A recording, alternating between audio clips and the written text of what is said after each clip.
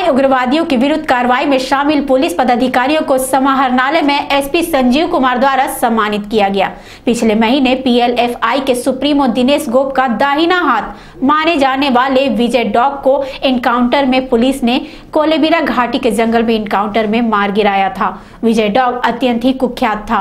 Police के साथ कई मुठभेड़ एवं थाना प्रभारी विद्यापति सिंह सहित एक अन्य आरक्षी की हत्या में वह शामिल था। विजय डॉग को इनकाउंटर में मार गिराने का साहसिक कदम उठाने वाले एसडीपीओ अमित सिंह, इंस्पेक्टर आलोक सिंह, बानो थाना प्रभारी जॉर्ज मुर्मू एवं बानो थाना के ही एसआई शैलेंद्र सिंह को प्रशस्ति पत्र देकर सम्मानित किया गया।